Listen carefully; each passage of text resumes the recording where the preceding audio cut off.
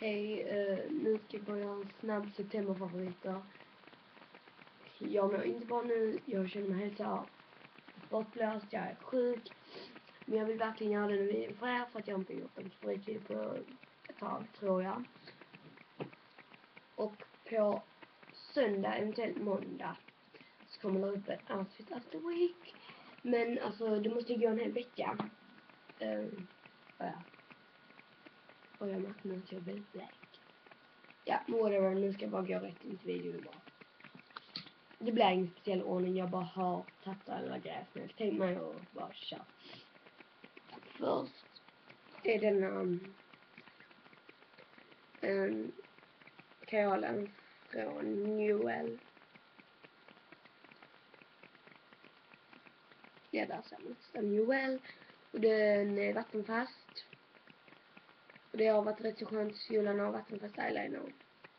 För min eyeliner skapat rätt så lite bort. För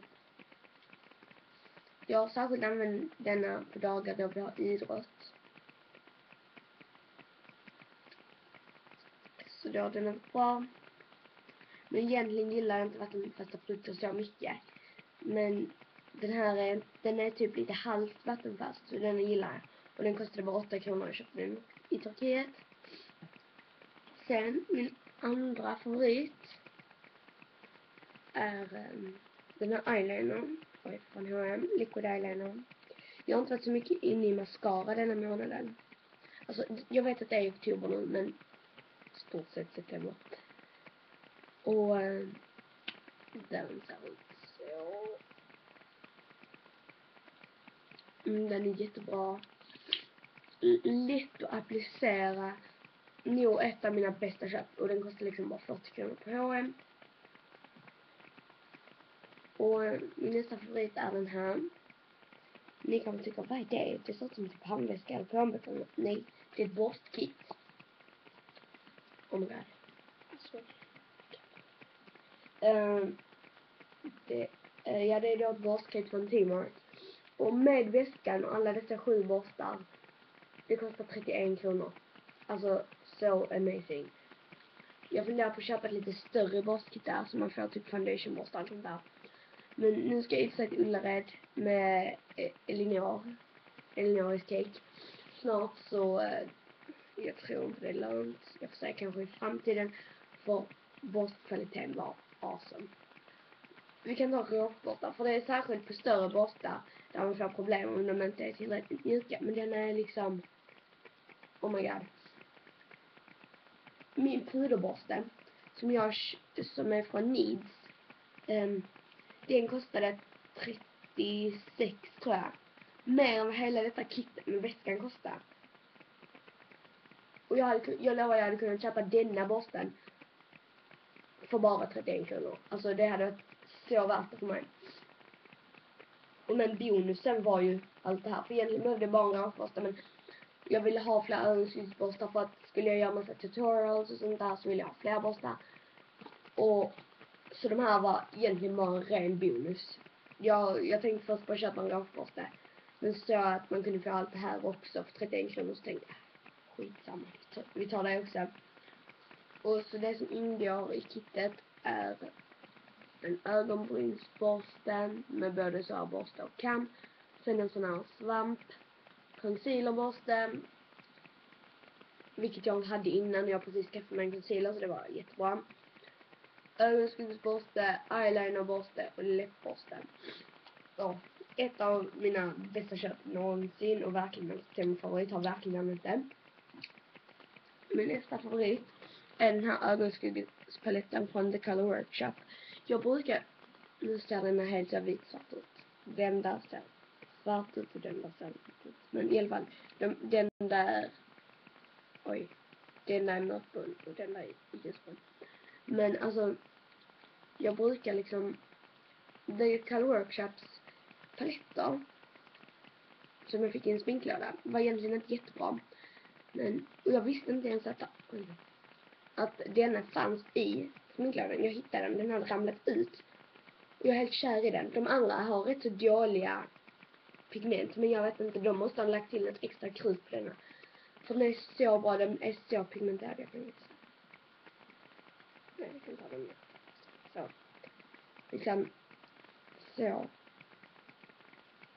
Liksom ni ser.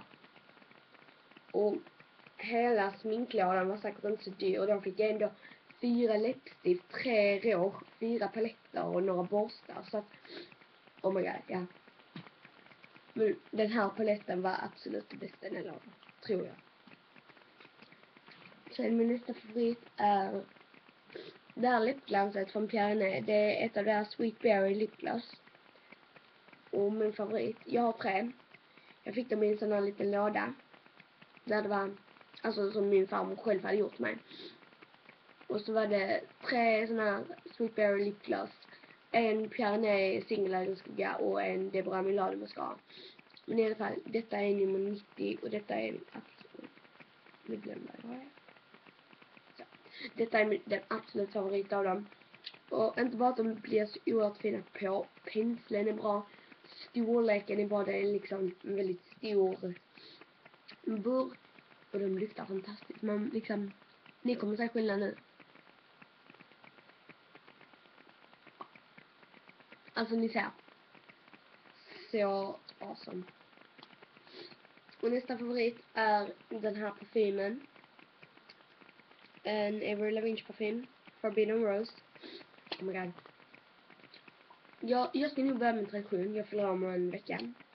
Och jag, denna fick jag när jag fyllde 11. Jag ska nog börja med att önska mig en kändisparfym. Mm. En kändisparfym varje gång jag fyller år. Så när jag fyller 18 kommer jag ha jättemånga. För denna gång ska jag önska mig Britney Spears igen För att det luktar Men denna är absolut en favorit. Jag använder den rätt så mycket denna månaden. Ett tag så glömde jag ens bort att jag hade den. Jag använde den säkert inte flera månader. För att jag var inte helt inne i parfym just då, typ. Ah, för jättelång tid och så. Men nu har jag verkligen kommit tillbaka och där är liksom jättemycket kvar. Det är nog bara 15 milliliter men jag, kan, jag använder kanske en minut eller Men whatever, nu börjar min röst slut så jag måste bara göra den videon snabbt och så. Nästa är ett body butter från Nordic Cap of Sweden och detta är ett Raspberry Shea body butter. Och det är ett doftande krämig body butter och den ser ut här. Jag har använt den rätt så mycket den månaden. Och det är liksom bara en allmän favorit. Ja. Och den kostade 20 kronor på Coop. Jag har sett den på Ica och ja, på massa på, nej kanske inte på netto men alltså så. Ni fattar. Och sen eh, det här Natson Kids balsamspray. Eh, de, de gör så bra för mitt hår. Och eh, de verkligen gör det de ska. Igår var mitt hår helt så. Vi hade jag haft idrott, jag hade haft flätor och så hade jag sprungit i ösregn. Sen kom jag in, tog ut mina flätor och mitt hår var bara så när jag kom hem. Alltså det bara stod ut överallt och helt kaos. Så eh, äh, använde detta, borsta och mitt hår var som om jag precis hade tvättat igen. Jag vet, mitt hår blev väldigt så efteråt direkt typ. Nu ser ni, mitt hår är inte fint just nu, men jag borde inte riktigt, så sjukt. sjuk. Mm, och min sista produkt är också en hårprodukt. Oh my god, vad jag älskar denna. Den Garnier Fructis Youtube Repair 3. Och man ska ha den i en minut. Styrkande inpackning. Nej, stärkande inpackning. Och där är tre fruktoljor, oliv, avokado, shea. Och den luktar liksom tropiskt typ frukt och ja, alltså jag behövde en ny hår, eller jag behövde en hårinpackning hos min pappa. Och mina favoriter, Gunway Hair Repair, fanns inte på Ica. Så eh, jag fick ju börja leta någon annan och min pappa sa liksom, inte någon för dyr nu? Och så tittade jag på L'Oreal Paris Elvital som jag verkligen vill testa men de kostar typ 60 spänn. Jag bara, ah. Och så och så vill jag ändå inte bara ha någon som var typ 200 eller 150 milliliter. Jag vill ändå ha någon 300 milliliters. Liksom så. Och så hittade jag henne. För 36 kronor.